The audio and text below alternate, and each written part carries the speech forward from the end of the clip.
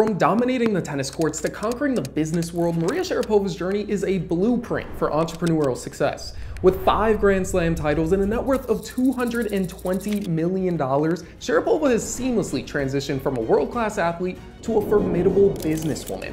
But how did she do it? Welcome to FOS Explains. In this video, we'll dive into the untold story of Maria Sharapova's business empire. From her strategic investments to her successful ventures, we'll uncover the key moves that transformed her from a sports icon into a multi-million dollar entrepreneur. Sharapova's talent was evident early on. By age 17, she made history by defeating Serena Williams in the 2004 Wimbledon final. She became the first Russian woman to win the prestigious tournament. This was the first of five Grand Slam titles she'd win in her career. Her on-court success opened up a string of endorsements and business opportunities too, making her the highest paid female athlete for over a decade. Sharapova's commercial appeal extended beyond tennis. She signed huge deals with Samsung, Porsche, Head, and Evian, among others. But her biggest deal was with Nike. The $70 million deal lasted over a decade, and Maria Sharapova became the face of Nike's athletic apparel, even designing her own shoe and clothing line. Over her career, she earned over $35 million on the court, the fourth highest all time, combined with 36 career titles. Beyond tennis, Sharapova landed an endorsement deal with cosmetics giant Avon. She became a regular at New York Fashion Week, attending events by designers like Vera Wang and Ralph Lauren, and dazzling at the Met Gala. Swiss watch brand Tag Heuer made her a global ambassador, further boosting her visibility and personal net worth, which exceeded $380 million at its peak. Sharapova's career faced a setback in 2016. The International Tennis Federation suspended her for two years after a doping scandal. She contested the suspension and came back to tennis in 2017. In 2020, Sharapova retired with an estimated net worth of around $200 million. What you might not know, though, is that the Russian is still earning millions. How? Through her multi-million dollar businesses. In 2012, Maria Sharapova started on a new journey off the court, entrepreneurship. Drawing inspiration from her love of sweets, Sharapova put $500,000 into launching a premium candy company called Sugarpova. The inception of Sugarpova wasn't just a casual enterprise, it was a well-planned business venture. Initially, the brand faced criticism for marketing sugary candy to a young audience, but Sharapova kept going, and today, the company is valuated at around $190 million. The company generates $20 million annually and sells sweets and premium chocolates in over 30 countries. Sharapova leveraged her global fame and social media presence to promote the brand, creating a strong market presence. The company's products were soon stocked in major retailers around the world, from high-end department stores to online retailers.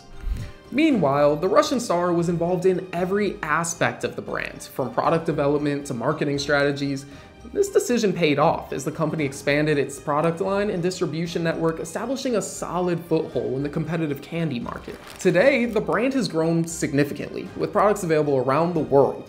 Her success with Sugar Sugarpova allowed her to partner with the National Association of Women Business Owners, NAWBO, in 2018, where she mentors other female entrepreneurs. Maria Sharapova has transformed from a tennis legend into a leading businesswoman, making more money than ever but her candy brand is just one of the businesses that she's been managing, and the others prove why she's become one of the most prominent female investors in the world of sports.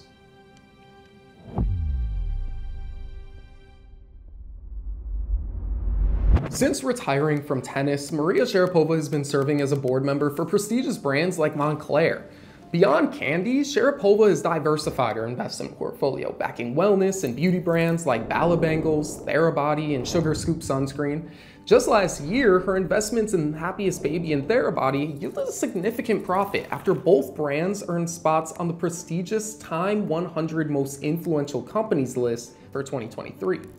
Sharapova's active involvement in these ventures underscores her influence and reinforces the value of supporting enterprises with transformative potential. Sharapova also has a knack for design and architecture. In 2021, she forged a strategic partnership with Rove, a furniture company known for its designs.